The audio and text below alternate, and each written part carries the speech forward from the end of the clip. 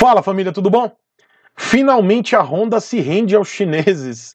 Mas como assim? A Honda se rendendo aos chineses? Japonês se rendendo ao chinês?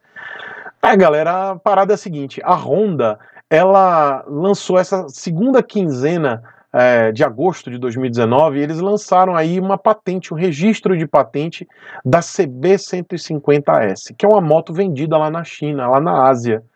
Isso quer dizer muita coisa. Isso, nas entrelinhas, isso quer dizer muita coisa. Toca.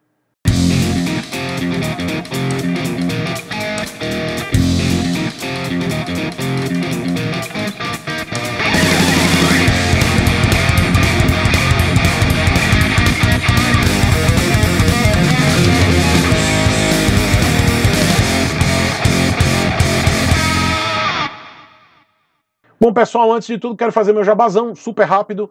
Acessem o meu site de rifas, chicosepulveda.com.br. Estou rifando aí algumas motos zero quilômetro, outras seminovas, além de um kit motovlog, tá? Tudo no valor muito acessível. A moto mais cara, a cota custa 40 reais. Então acessem lá meu site de rifas, olhem, leiam as regras, é muito importante, tá?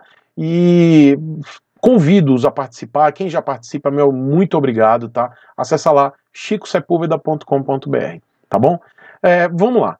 A Honda, ela nessa segunda quinzena de agosto de 2019, eles registraram a patente do design da CB150S. Isso quer dizer muito nas entrelinhas, mas pouco em relação ao mercado. Não quer dizer que a Honda venha trazer essa moto para cá, a CB150S. Eu acho que eles não, não tragam essa moto para cá até porque ele já tem a linha 160. Se eles trouxerem essa CB 150, eu vou ficar bastante intrigado, né? E aí vai deixar aí mais pulga na orelha da gente que está enxergando, eu principalmente, que fico enxergando o mercado no todo, o mercado brasileiro, tá? E às vezes o mercado internacional. E aí o que, que eu enxergo disso, galera? Eu vejo que uh, as motos chinesas vendidas aqui no Brasil estão incomodando um pouco a dona Honda.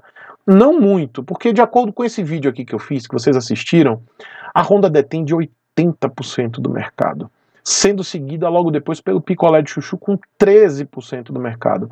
E logo depois 12 marcas seguem é, dividindo aí esse pequeno pedaço da fatia do mercado brasileiro. Então vocês percebem que a Honda, ela tem 80%. É muita coisa, galera. É muita coisa no mercado brasileiro. E os caras estão nadando de braçada há mais de 30 anos. Eu, eu sou um, um defensor do livre comércio, tá valendo. Hoje a gente não vê tantos benefícios assim para a Honda. A Honda já usufruiu desses benefícios nos anos 70, não tem mais isso, então é mérito da Honda se manter há tantos anos no mercado, há tantas décadas, o mérito é dela. A Honda trabalha muito bem seu marketing, trabalha muito bem é, o line-up das suas motocicletas, enquanto as outras não. Tá? Não é questão de, de benefício de governo, não tem nada a ver com isso. É mérito mesmo. Mas é, no terceiro lugar, a Haoju de acordo com a FenaBrave, com esses vídeo, esse vídeo que eu lancei, a FenaBrave informou que a Haoju, é, que vende motos chinesas, ficou em terceiro lugar no ano passado, de 2018. Isso sim é, dá para a gente ter uma noção aí do porquê que a Honda está registrando a patente da CB150. E aí eu digo que é uma opinião minha, tá? Não quer dizer que é verdade ou que eu tenho alguma informação, até porque eu não tenho muita informação da Honda. Aliás, eu não tenho nenhuma, porque eu não tenho nenhum contato com ninguém da Honda. Então tudo que eu falo aqui é especulação minha, ok? Uh, então o que, que eu imagino? Eu imagino que há uma observação aí de alguém que está lá em cima, que é a asa de frango, está lá em cima, observando todo mundo lá se degladiando, e eles observaram aquela terceira colocada ali, que é a Haoju, vendendo suas motos chinesinhas, com ótimo, excelente custo-benefício, e ele observa também a Kinko, né, que também veio pela JTZ. A JTZ trouxe duas marcas para cá, para o Brasil, que é a Haoju. Para quem não sabe, a Haoju é uma subsidiária da Suzuki, que também é concorrente da Honda, uma japonesa, e essa, essa subsidiária é lá da China, então ela fabrica as motos de baixa cilindrada da Suzuki. A exemplo da Intruder 125, que ainda é produzida lá na China, e da Burgman 125, tá? Fabricadas pela Haoju, mas que vieram aqui para o Brasil com o emblema Suzuki, a bandeira Suzuki, ok? Para quem não sabe, a Haoju fabrica motos em excelência. E também a JTZ trouxe a Kinko, que vende muita scooter na Europa, tá? E que é de excelência. Então, é, além da Dafra que traz as taiwanesas da marca Sim, é, scooters excelentes, assim como eu tenho aqui a Citicon. Então, galera, eu acho que a Honda ela está observando lá de cima toda essa movimentação dessas empresas trazendo motos com design chinês, design asiático. E aí eu não vou falar só da China, vamos falar da Tailândia, da, de Taiwan e da Indonésia. Tem, galera, tem muita moto interessante. Eu não vou entrar em detalhes das motos, mas eu gostaria muito que vocês, meus inscritos, colocassem aqui nos comentários todas as motos que vocês conhecem da Ásia e que vocês gostariam que viessem para cá. Eu sei que vocês sacam muito de moto da Ásia e moto no mundo. Eu fico impressionado com a qualidade. Olha, galera, vocês são demais. Porque o que vocês trazem para mim de informação é, de conteúdo, principalmente aqui nos comentários, né? Além de me mandarem pelo WhatsApp, é, as informações. Eu sou muito informado por vocês e fica aqui meu agradecimento a vocês, meus inscritos. Então vocês sacam muito de motocicleta no Globo. Então eu peço para vocês, coloca aqui nos comentários as motos que vocês gostariam que viesse aqui para o Brasil, independendo da marca, tá? É, tem muita moto boa lá na Ásia, que vende na Europa. É, por exemplo, as Ontes. Eu vou fazer sim, já me pediram é, para fazer um, um, review, mesmo que à distância, da marca Zontes. E essa, essa moto vende lá em Portugal, galera, é um troço de louco. Eu vou fazer sim a, a, o review dessa marca Zontes, tá? E eu queria que vocês colocassem aqui nos comentários. Pode colocar link, tá? Coloca link do YouTube, não tem problema. Pode colocar link de matéria. É, às vezes o, o, YouTube ele bloqueia, mas eu vou lá e desbloqueio. Pode colocar aqui link para que a gente saiba, que a gente conheça mais as motocicletas que são vendidas lá na Ásia e que são sucesso. Lá na Ásia, não, as motos de alta cilindrada elas não são tão vendidas assim porque, claro, a população não tem um poder aquisitivo muito grande. E aí eu não estou falando de Japão, galera, eu estou falando de Ásia, Indonésia, Taiwan, é, Tailândia e aqueles países tigres asiáticos, né? Os asiáticos, Índia, tem muita moto boa na Índia também que não é lançada aqui, mas que foi, por exemplo, a FZ 25, que é a nossa Phaser 250, ela foi lançada lá na Índia, né? Foi lançada na Tailândia antes e tem, depois veio para cá para o Brasil.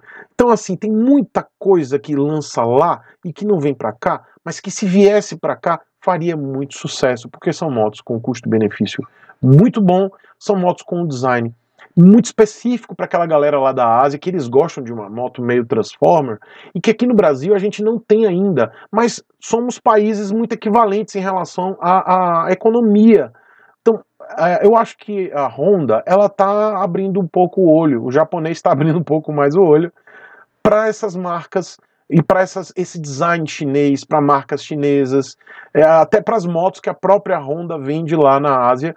A, eu, isso eu estou falando de Honda Brasil, ok, pessoal? Não estou falando de Honda Japão ou, ou Mundial, não. Tô falando Honda Brasil está abrindo muito olho para essas marcas que podem vir para cá e que podem ameaçar aí um pequeno pedaço da, da sua da, da, venda das suas motocicletas. Porque vamos imaginar, os caras detêm 80% do mercado. Se eles perdem 10% desses 80%, já causa um impacto no, no orçamento deles, nas rendas da Honda. Porque vamos lá, os caras estão há 30 anos líder de, de vendas a 80% do mercado. Se eles perdem 10%, isso gera um impacto global é, aqui no Brasil, né? Um impacto global, que eu quero dizer, um impacto aqui no Brasil. Então isso vai gerar um problemão para eles. Então eles estão de olho, eles estão observando dali de cima o que a JTZ está fazendo, o que a Dafra está fazendo, trazendo o KTM para cá, que não é, é, é a KTM agora para quem não sabe é indiana, tá? Os indianos compraram a KTM, então a gente pode dizer que a KTM agora é asiática, galera. Vamos pensar. As coisas estão mudando aos poucos. Então, tira o preconceito da tua mente que moto chinesa, que moto asiática não presta.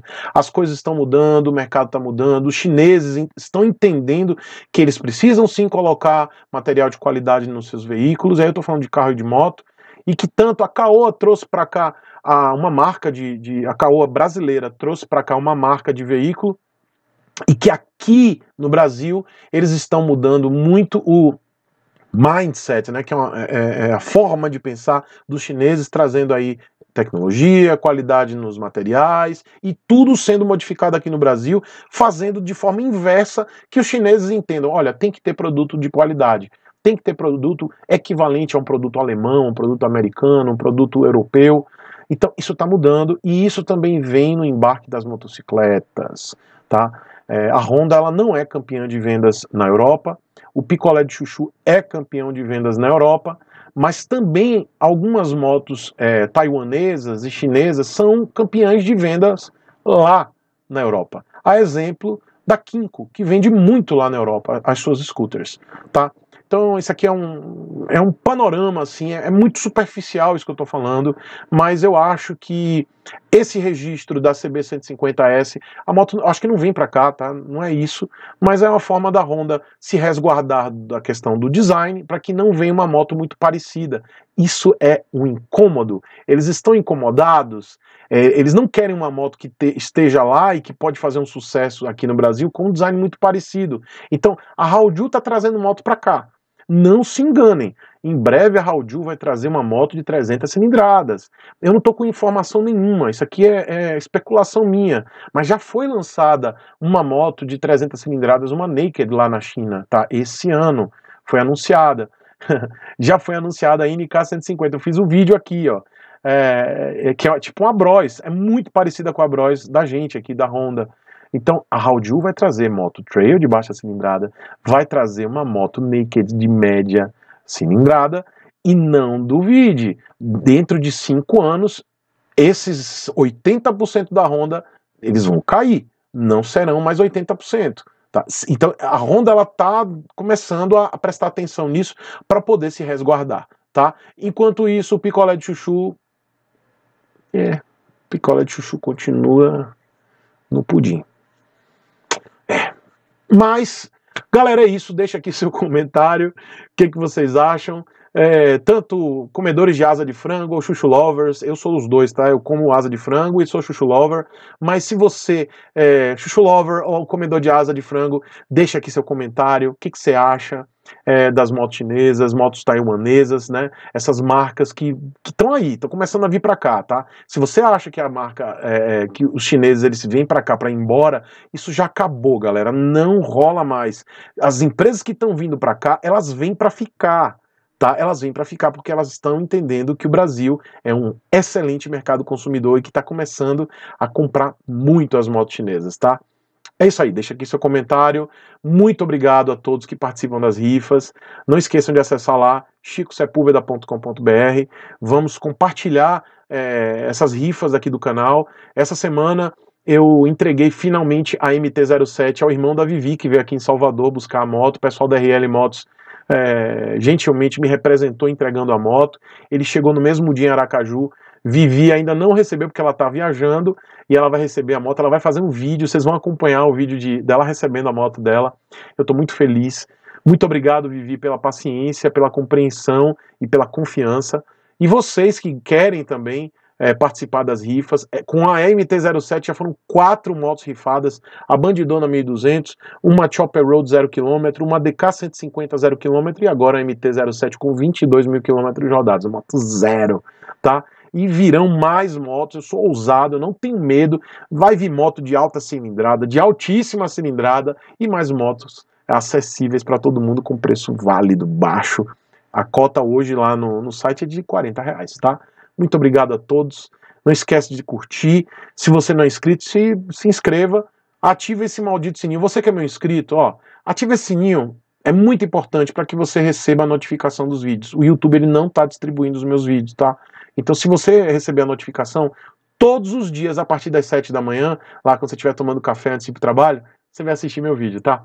Beijão, muito obrigado a todos e até amanhã. Vídeo todo dia aqui no canal. Beijão.